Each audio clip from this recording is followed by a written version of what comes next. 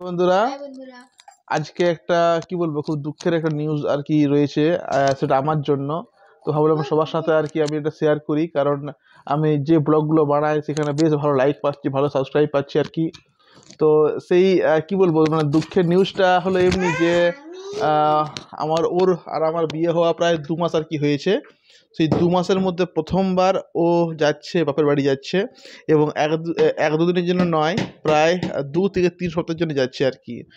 তো দু থেকে তিন সপ্তাহের জন্য সে যাচ্ছে কেমন মানে কেমন করে যে এবারে সময়টা কাটবে তোমার কেমন লাগছে? আমার তো খুব এক্সাইটেড লাগছে।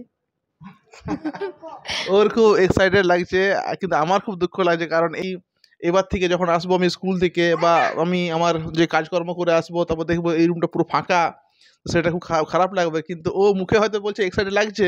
কিন্তু মনে মনে অতটাই সে কষ্ট পাচ্ছে কিন্তু ও ছাড়াও ছাড়তেও কিন্তু হবে।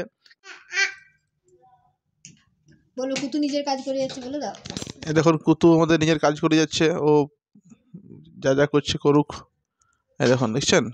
সঙ্গে আজকে নতুন একটা আমাদের সঙ্গে একটা নতুন রয়েছে একটা আমাদের অতিথি।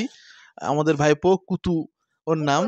খুব বদমাস তো সত্যি বলো তোমার কেমন লাগছে? মানে বলছো মুখে যে খুব এক্সাইটেড লাগছে কিন্তু কেমন ফিলিংস হচ্ছে আর কি?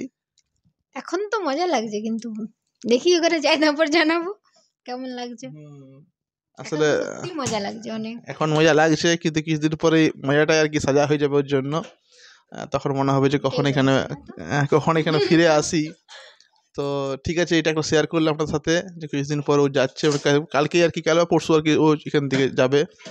ঠিক আছে আশা করি ব্লগগুলো আপনাদের খুব ভালো লাগছে। তো বন্ধু, ভালো ভালো ব্লগগুলো পেতে আর কি আপনারা চ্যানেল সাবস্ক্রাইব করবেন, চ্যানেল লাইক করবেন, পারলে শেয়ার করবেন বন্ধুদের মধ্যে।